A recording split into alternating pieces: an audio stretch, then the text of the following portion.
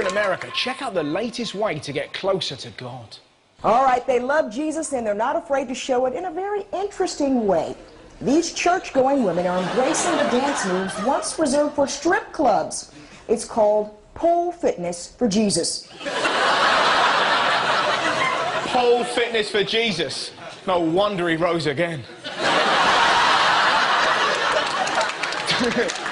Thanks very much. Thanks very much.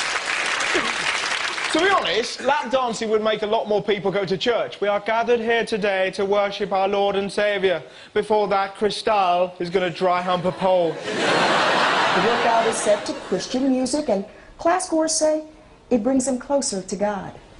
Brings him closer to God. Makes it sound like he's in heaven going, work that ass, baby. That's why I made it that way. In fairness, they're not the first people touched by our Lord. What's happening right now? Right now, Uh, there, a hand. Is it burning or, or just a hand? just feel it. You Think it's Jesus? Yeah. Boom! Bah! Finish it, Lord!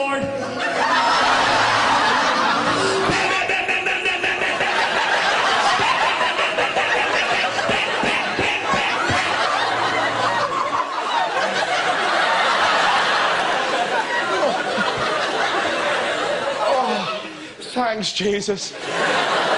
That's what I call a second coming.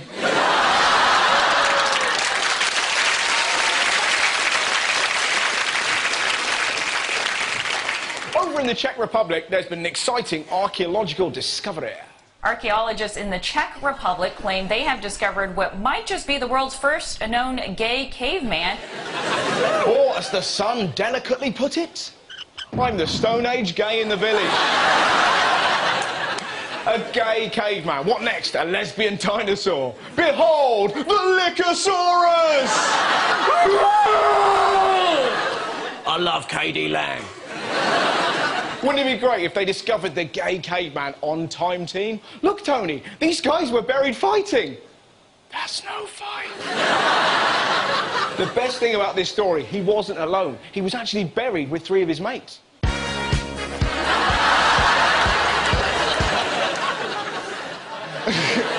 Next over to the wonderful country that is Australia. Last week I showed you a bloke who took his parrot for a ride on his car.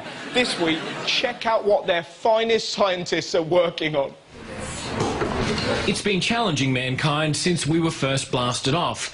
Can humans drink beer in space? I'm only going to the moon if I can get shit-faced. To be honest, I think drinking in space is madness. The last thing you want when you meet bizarre intergalactic creatures are beer goggles. She's all right, Dave. She looks like Shrek's bell end. Drinking in space would really have changed Star Wars. Imagine Han Solo pissed. Chewie, you look like a 70s minge.